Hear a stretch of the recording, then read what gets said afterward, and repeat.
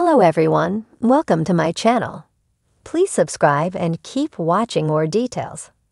Coronation Street's Ed and Ronnie Bailey face dilemma over dead body discovery. Ed and Ronnie Bailey have faced a dilemma over the discovery of a dead body on their construction site in Coronation Street. Tuesdays, September 19, episode kicked off a shocking new storyline that could lead to serial killer Stephen Reid's downfall, as the corpse found by the Bailey's team will be confirmed as his victim Leo. However, the Baileys have a much different problem on their hands, as the discovery has halted work on their construction site and is now costing them money. The whole ordeal came about because Ronnie had signed some legal papers to waive the risk of starting construction on a site before the completion of purchase. Shortly thereafter, Ed was horrified when one of his construction workers discovered a body in one of the pits they were working on. Ronnie turned up just as local cop Craig revealed the shocking news that the Bailey's construction site was now a crime scene meaning no more construction could take place while the investigation was underway.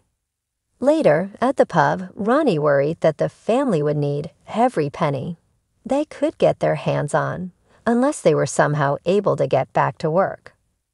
Ronnie had to break the news to the site foreman that the Baileys would only be able to pay the crew for that day, not for the potentially long wait while the criminal investigation drags on. From tomorrow, we can't pay, he decided. Even though Ronnie insisted the Baileys weren't in control of the timetable, he was warned by the foreman that his men would move on to other jobs if they weren't paid. Let them go, Ronnie demanded. After that tense encounter, Ed hit out at his brother for the way he was treating their staff. The brothers remained at loggerheads over their staff, but they agreed the sooner the body was identified, the better it was for them.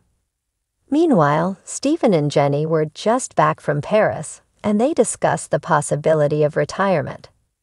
When Jenny questioned whether Stephen had the financial means to retire, the wheel started spinning in his mind about where he could get the cash.